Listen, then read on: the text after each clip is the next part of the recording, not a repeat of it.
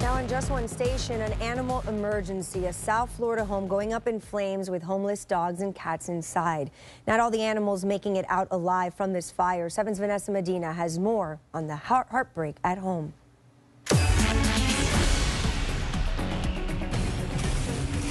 Vets working to save Monty from cardiac arrest after the dog was trapped inside this Pompano Beach apartment Sunday. It was a fire in my home and I, all my animals perished, just only the dogs have survived.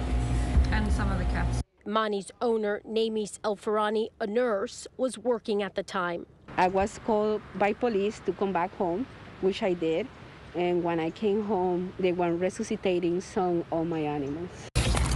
Monty was rushed to the animal hospital, but workers there sadly couldn't save him. Wizard, Namie's other dog, also in bad shape, in critical condition, and still holding on. Right now, the only thing that really matters to her is the animals, and we're trying desperately to save her remaining dog who's clinging to life. But that's not all. Namies also fostered several cats for the animal rescue group Saving Sage. She was fostering Arwen and her four kittens. They were saved from a hoarder house also in Pompano Beach a few months back.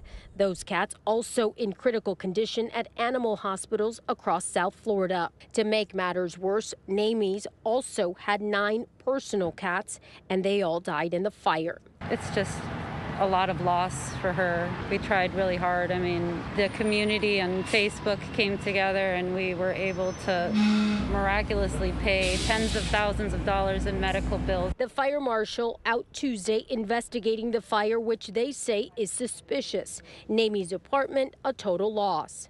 I'm in so much pain and I'm trying, we said he's the only dog I have remained to save him. I'm trying not to think about it losing him. But thank you so much to everybody who has donated. Grateful for all those who donated and this miracle late Tuesday. The last missing cat, Perlina, found alive and healthy days later, hiding inside the burned out apartment. I live around the corner. I left work and I came here and I decided to look in, into the house and uh, I saw her on the on top of the fridge. So I'm very happy. So the homeowner says she has a camera inside of the home. She's handed it over to police so they can investigate and hopefully find out who or what was responsible for that fire. As for vet bills, she needs your help. It's already in the 20s of thousands of dollars. She needs help paying for some of that. If you'd like to help out, go to our website, WSVN.com, and we'll link you to that GoFundMe page. Reporting in Pompano Beach, Vanessa Medina, 7 News.